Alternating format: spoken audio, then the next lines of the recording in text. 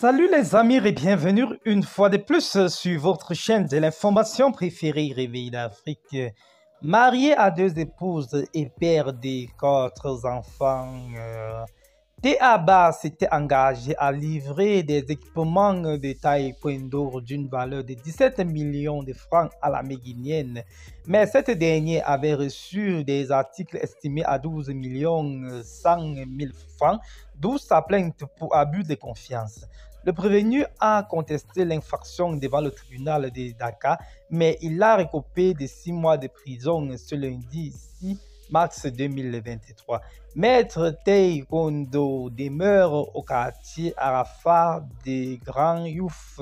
Teaba avait regagné un marché de la Méguinienne pour l'acquisition d'équipements de taekwondo. Le cours des articles était évalué à 14 millions de francs. Curieusement, le sportif a livré une quantité inférieure à la quantité demandée.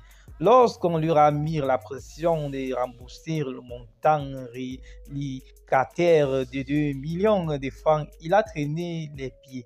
C'est alors que l'armée guinéenne a demandé mandat au fournisseur. S. Sal a porté plainte?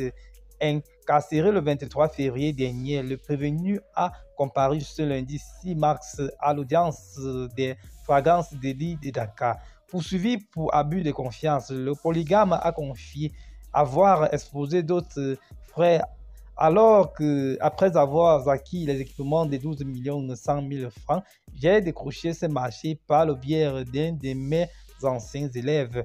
Mais l'adjudant m'avait exigé une commission de 500 000 francs concernant les frais de manutention.